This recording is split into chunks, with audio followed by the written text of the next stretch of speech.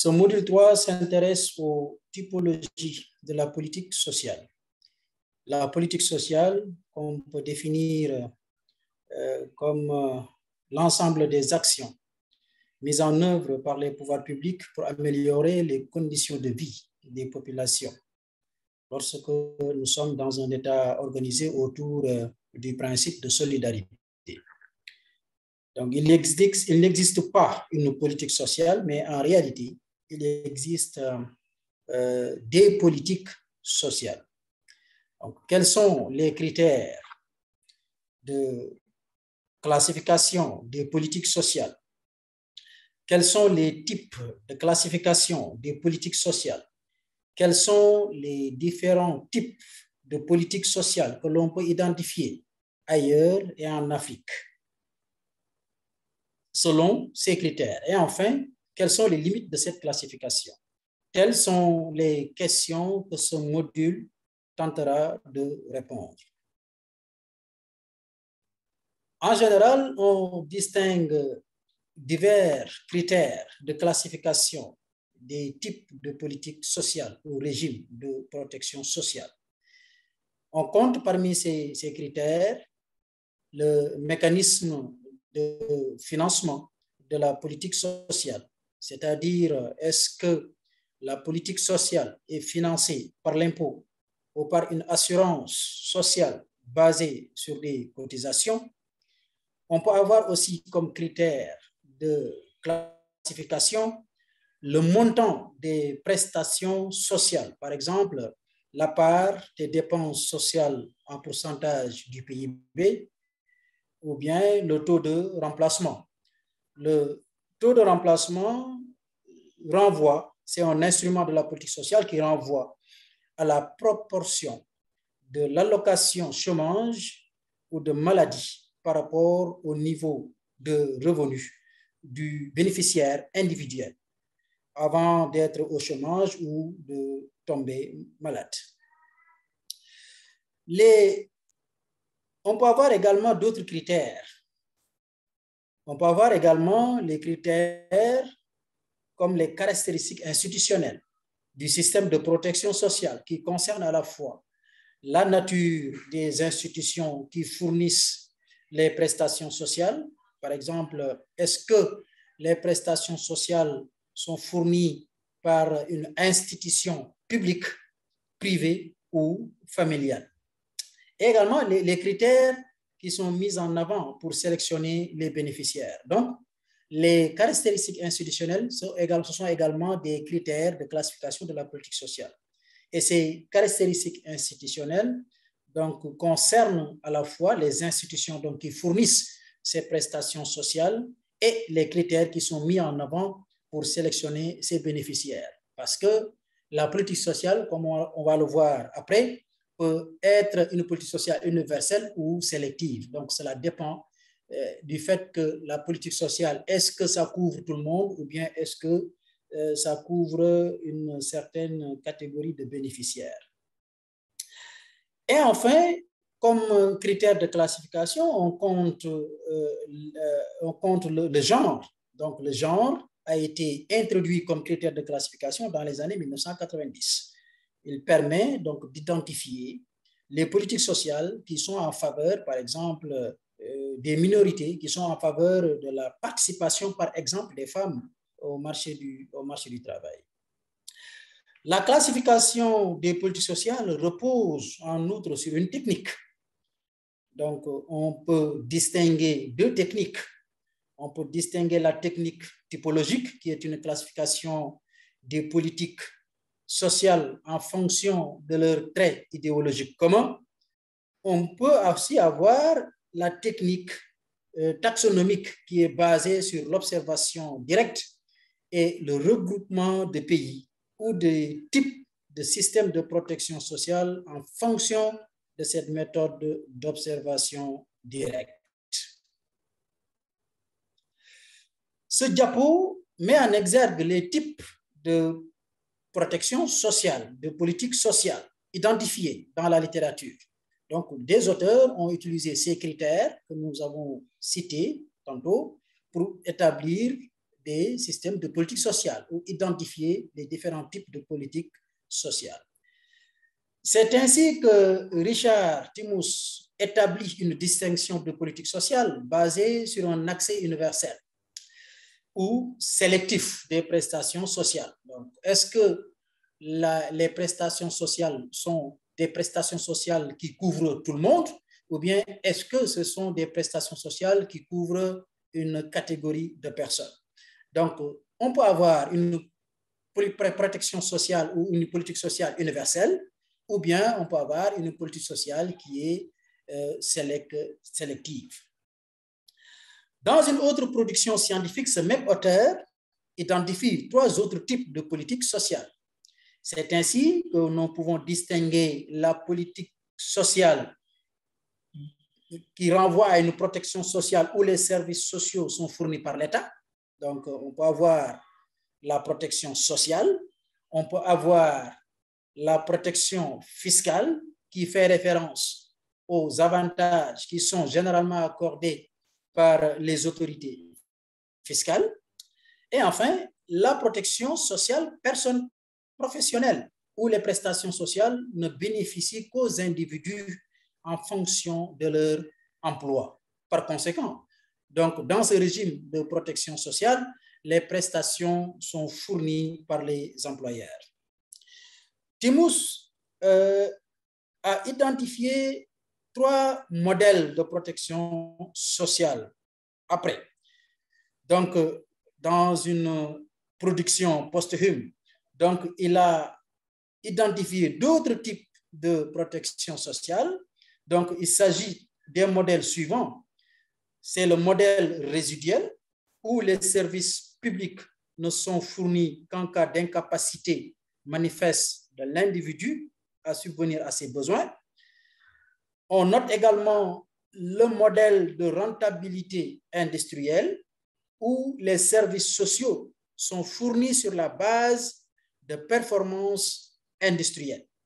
Et enfin, il met en exergue le modèle institutionnel redistributif qui considère l'État-providence comme une institution importante et intégrée dans la société, fournissant des services universalistes en dehors du marché selon les principes du besoin.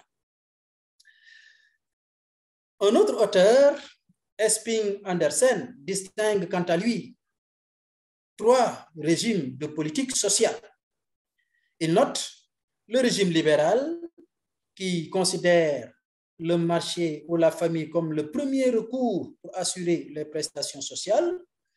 Euh, la politique sociale dans ce régime est dominée donc par l'assurance sociale individuelle basée sur le marché. Les régimes privés subventionnés par l'impôt, santé ou maintien de revenus des personnes âgées. À côté de ce régime libéral, il distingue également le régime corporatiste qui favorise les droits basés sur l'assurance sociale liés au statut professionnel et à la classe sociale. Les droits de la protection sociale sont dans ce régime généralement destinés en premier lieu aux groupes de, dont la coopération à la modernisation économique et à la consolidation de la nation a été jugé indispensable par l'État. Donc, le régime corporatiste tend donc à renforcer la loyauté d'un groupe, la loyauté d'une certaine catégorie de population envers l'État ou à l'État. Et enfin, il distingue le régime social-démocrate qui identifie généralement à l'offre universelle de services et des prestations sociales des marchandisés qui cherchent à intégrer et à assurer de l'allégance de la classe moyenne. Les auteurs qui se sont, qui, qui se sont basés sur cette classification d'Andersen ont poussé la réflexion pour mettre en exergue d'autres types de politiques sociales, comme par exemple celui de l'économie productiviste confucienne des pays asiatiques de l'Est. Dans ce contexte, dans ce régime, l'accent est mis sur l'augmentation de la capacité de production des citoyens, les objectifs de développement du pays étant prioritaires. On peut également distinguer d'autres types de politiques sociales ou de protection sociale. C'est par exemple le, le, modèle nationaliste qui a été identifié en Afrique. Donc, il s'agit d'un modèle où on met l'accent sur les investissements dans la capacité des ressources humaines par le biais d'un financement public des établissements scolaires, d'un accès quasi universel aux soins de santé, de subventions pour l'agriculture et l'alimentation. De même, toujours des auteurs comme euh, M. Kandawi a mis en exergue d'autres types de politiques sociales. Par exemple, il distingue la politique sociale ouvrière, politique sociale agraire et politique sociale paupériste. Donc, nous allons développer cette dernière classification dans les diapos qui vont, qui vont suivre.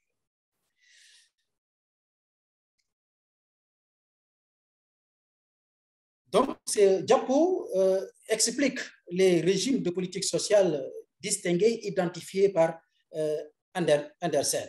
Donc, il distingue trois types de politiques sociales. Les politiques sociales basées sur les régimes libéraux, les politiques sociales de régime corporatiste conservateur et la politique sociale de régime social-démocrate. Ce diapo met en lumière les types de politiques sociales identifiées en Afrique. Donc, l'identification des politiques sociales, il faut le rappeler, en Afrique, est principalement l'œuvre de deux tentatives. On note donc les travaux de Jérémy Sekings et les travaux de M. Kandawir. Sekings a établi une classification de trois types d'État-providence qu'il a qualifié de régime ouvrier, régime agraire ou le régime paupériste. Donc, cette classification repose sur les cinq critères qui sont euh, montrés par le tableau. Donc, le premier critère renvoie à la nature de l'économie. Le deuxième critère renvoie au caractère social de la classe ouvrière, c'est-à-dire les caractéristiques sociales de la classe ouvrière. Le troisième critère renvoie à la nature de la politique subalterne. Le quatrième critère renvoie à la nature de la stratégie adoptée par l'élite. Et enfin, le cinquième critère renvoie au discours et aux idéologies qui étaient la position vis-à-vis euh, de l'État-providence. Donc, pour Seking, la protection sociale agraire est le régime que l'on retrouve dans la majorité des pays africains. Par exemple, euh, le système euh, de politique sociale ouvrier, sur le plan économique, donc, le contexte, c'est un contexte d'import-substitution, c'est-à-dire la politique économique qui caractérise l'environnement économique, c'est une politique économique orientée vers la substitution des importations. Et comme caractéristique de la classe ouvrière, les caractéristiques sociales, donc ce sont des travailleurs immigrants. Et comme politique subalterne, ce sont des politiques basées, caractérisées par des grèves et l'élite politique, c'est une élite corporatiste. Et le discours véhiculé par cette élite politique, c'est un discours social-démocrate. Donc, on n'a pas les mêmes caractéristiques si l'on considère le régime agraire. Le régime agraire, donc l'environnement économique, c'est un environnement économique dominé par la petite agriculture, c'est-à-dire les, dominé par les petits exploitants agricoles. Donc, les caractéristiques sociales de la classe ouvrière, euh, donc, ce sont des caractéristiques euh, qui identifient la classe ouvrière. Donc, cette classe ouvrière, c'est une classe dominée par la migration rurale. Euh, et la politique subalterne, c'est une politique anticolonialiste. L'élite stratégique, donc, c'est une élite qui soutient le discours de décolonisation et c'est une élite également conservatrice. Donc, on n'a pas également les mêmes caractéristiques suivant ces critères euh, du régime de politique sociale popé, popériste. Donc, si l'on considère le régime de le régime de politique sociale populiste, l'environnement économique, c'est un environnement économique caractérisé par une politique économique qui cherche à développer la production de biens, n'est-ce pas, qui ne sont pas des biens artisanaux, mais des biens qui peuvent être exportés. Et les caractéristiques de la classe ouvrière, donc c'est une classe ouvrière dominée par la migration rurale. Donc il n'y a pas également de perspective par rapport de cette classe, la perspective de retour par rapport à la zone, vers la zone rurale. Donc c'est une classe ouvrière qui, euh, qui émigre vers les zones urbaines sans perspective de retour euh, vers, la zone, vers la zone rurale. Alors, L'élite politique également, c'est une élite politique caractérisée par une démocratisation. Donc, le discours, c'est un discours libéral ou néo, néo, néolibéral. Euh, une classification plus précise comparée à cette classification que nous venons de voir dans la diapositive précédente. Donc, cette classification associe les trois types de régimes d'État-providence à cinq critères de classification. Donc, par exemple, euh, le régime d'État-providence agraire était axé sur les paysans, le régime ouvrier sur les travailleurs, le régime de protection sociale populiste sur les pauvres. Donc ici, si nous considérons les types d'incitation à la mise en place des régimes d'État-providence différents, on peut avoir donc des incitations euh, dans le régime agraire. L'incitation est d'assurer la stabilité sociale, celle du régime ouvrier, l'incitation consiste à garantir la paix industrielle, tandis que le régime populiste, l'incitation s'attache à assurer la stabilité sociale ou le succès électoral.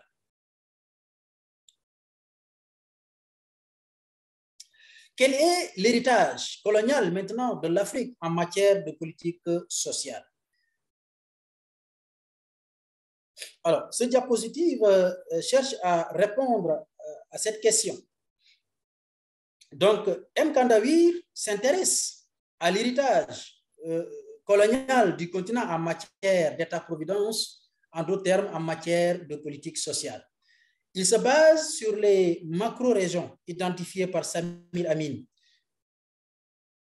cet auteur, Samir Amin, décompose le continent en trois macro-régions à savoir l'Afrique de l'économie commerciale coloniale, dominée par les pays d'Afrique de l'Ouest, l'Afrique des sociétés concessionnaires, dominée par les pays d'Afrique centrale, euh, et l'Afrique des réserves de main-d'œuvre, qui, est une région dominée par les pays d'Afrique de l'Est et australe. La, typologie de M. Kandavir euh, a pour objectif d'identifier la macro-région des réserves de main-d'œuvre comme un régime d'État-providence distinct et séparé du reste de, l'Afrique subsaharienne. Donc, il fait une analyse par grappe donc, euh, pour identifier les types de politiques sociales adoptées par chaque macro-région.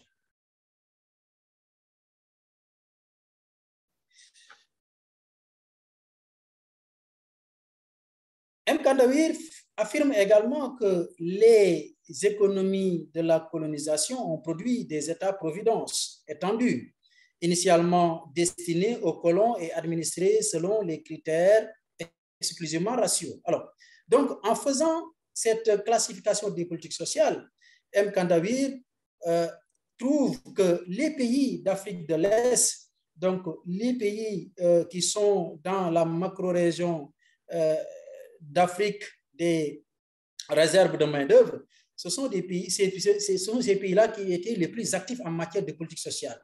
Et pour le prouver, il considère la part des recettes fiscales dans le PIB et la part des dépenses sociales dans le PIB.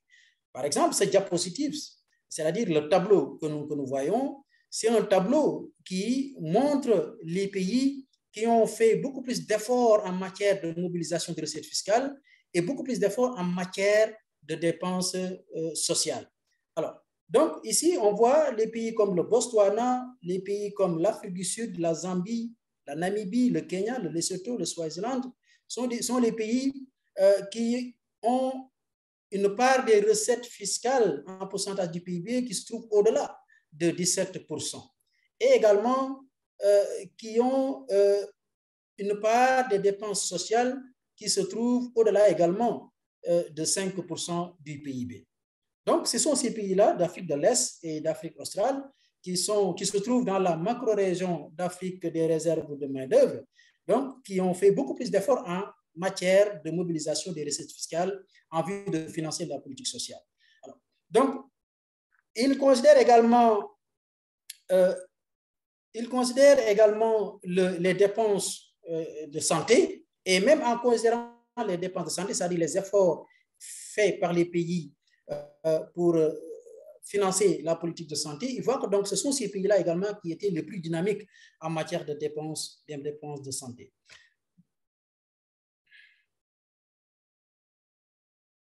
Donc, Mkandawir euh, affirme donc que la colonisation, de, les économies de la colonisation ont produit des États-providence étendus, initialement destinés aux colons et administrés selon des critères exclusivement raciaux, mais qui, une fois déconstruits, ont fourni des avantages substantiels à ceux qui ont été inclus dans ce travail de protection sociale. Alors, dans ce régime les prestations sociales sont principalement donc financées par euh, les recettes fiscales et euh, les ressources nationales, en d'autres termes. Et en liant le type de régime aux efforts fiscaux, il affirme donc que les institutions traditionnelles euh, de la mobilisation fiscale et les prestations sociales ont persisté juste dans le contexte de la post-colonisation. Donc, les, dépenses de protection sociale sont largement financées par la mobilisation des ressources fiscales.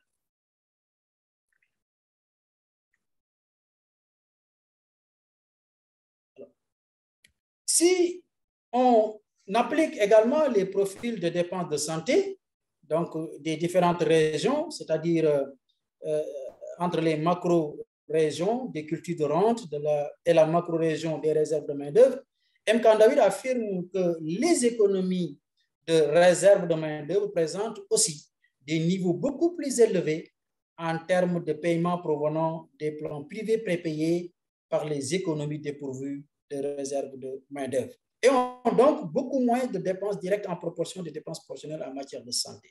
Alors, donc, c'est pour cela que, donc, en regardant ce tableau, on voit que donc, ce sont les pays d'Afrique de l'Est, c'est-à-dire les pays qui se trouvent dans la macro-région d'Afrique des réserves de main-d'œuvre, qui sont les pays les plus dynamiques en matière de dépenses de, dépenses de santé. Donc, en résumé, euh, suivant la typologie de M. Kandawi, qui se base sur les travaux de Samir Amin, de découpage de l'Afrique en trois macro-régions, donc M. Kandawi affirme que la politique sociale a été plus dynamique dans les pays d'Afrique des réserves de main-d'œuvre, c'est-à-dire les pays d'Afrique de l'Est et australe.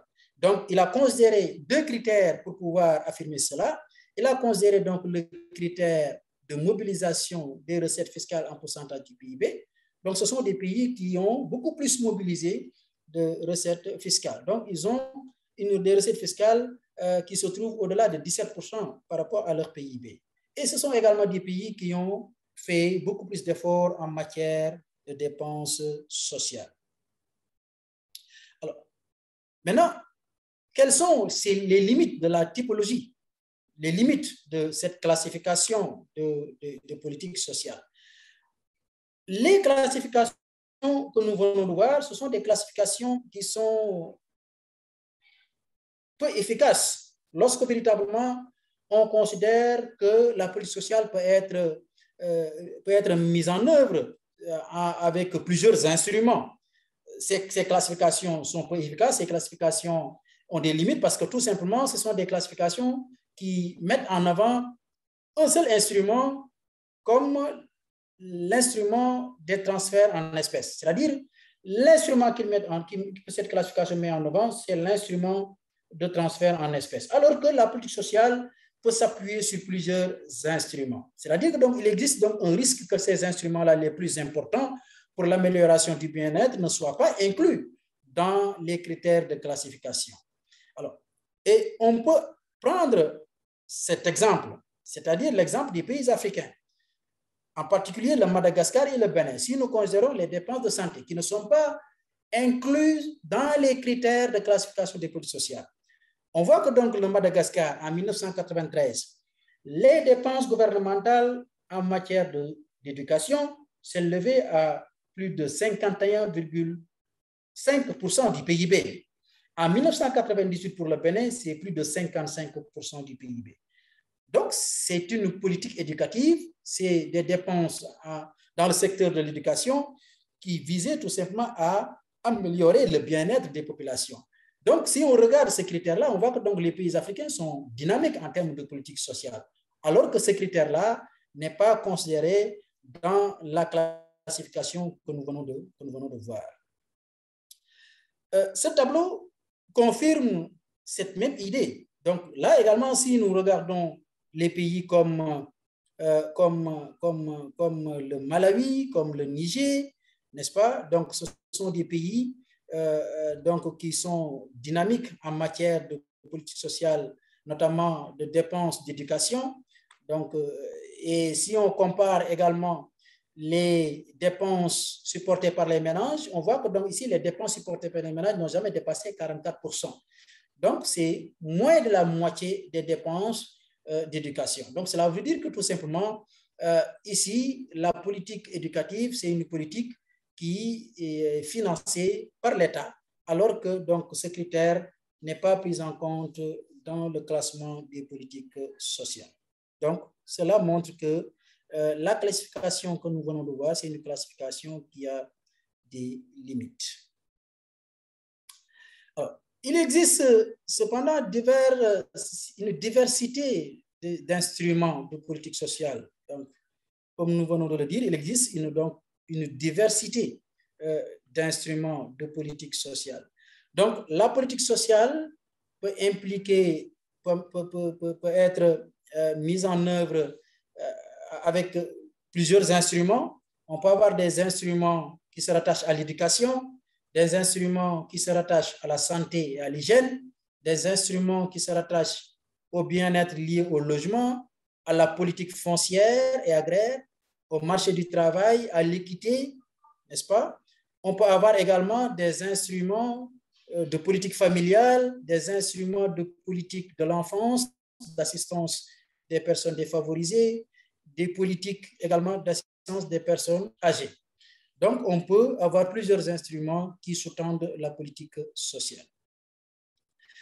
De même, on peut aussi avoir plusieurs mécanismes de financement et d'exécution de la politique sociale.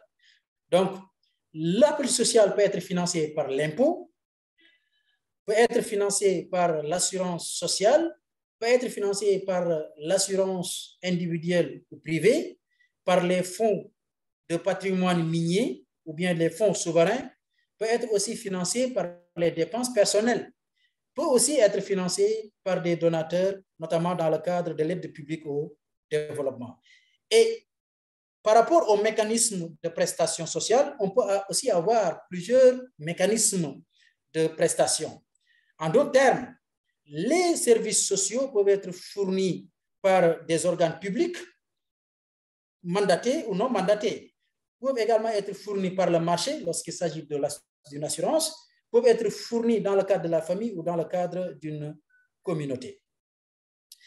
Et si l'on considère également la couverture de la politique sociale, on peut également avoir plusieurs types de politique sociale. On peut avoir une politique sociale avec une couverture universelle, c'est-à-dire euh, tout le monde est, est, bénéficiaire, donc sans exclusion, personne n'est exclu tout le monde bénéficie des services sociaux.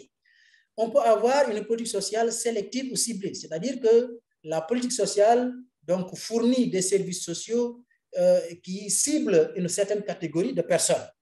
Et ce ciblage est fait sur la base également des critères de sélection.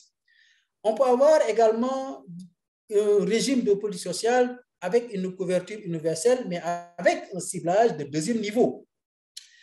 Par rapport à la générosité de la prestation, on peut aussi avoir une politique sociale qui met l'accent sur le niveau de remplacement du revenu. Par exemple, euh, les revenus de pension de retraite, ou bien l'étendue de la couverture des coûts, c'est-à-dire la générosité. Et sur euh, le plan de l'intention sociale aussi, on peut avoir un régime de politique sociale basé sur un modèle résiduel, ou bien une politique sociale basée sur le modèle universaliste, ou bien une politique sociale basée sur les effets de la transformation. Le plus important est la mesure dans laquelle la valeur et les droits de l'homme définissent les normes qui sous-tendent l'architecture de la politique sociale. Merci.